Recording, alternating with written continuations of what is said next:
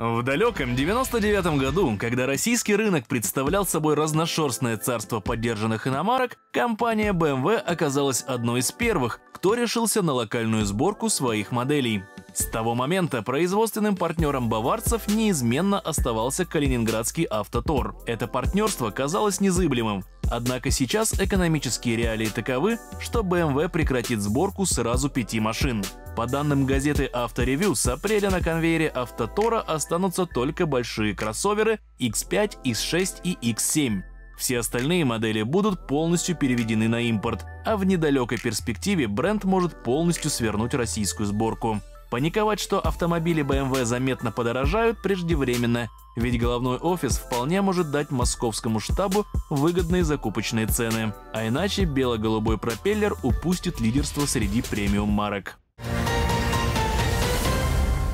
И продолжая премиальную тему, представленный прошлой осенью Audi A3 наконец доедет до России.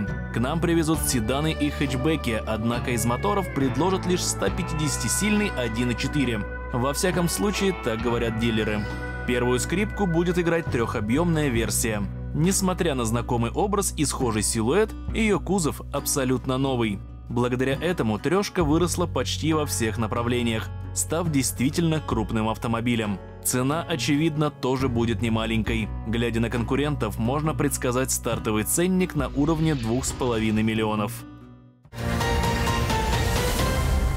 Несмотря на то, что сегмент больших премиальных седанов плотно оккупировали Audi A6, BMW 5 серии и Mercedes E-класса, Jaguar решил не оставлять российский рынок без модели XF. Более того, к нам вскоре прибудет и рестайлинговое исполнение. Моторов будет только лишь пара, и оба двухлитровые. С задним приводом доступен дизельный, а с полным – бензиновый вариант. В обоих случаях коробка передач – 8-диапазонный автомат. В базовую комплектацию включены кожаный салон, электропривод передних сидений, двухзонный климат-контроль, светодиодная оптика, система кругового обзора и многое другое. Любопытно, что до рестайлинговый XF обойдется на полмиллиона дешевле. А если выбрать менее мощный мотор, который теперь исчез из гаммы, то выгода составит около 800 тысяч.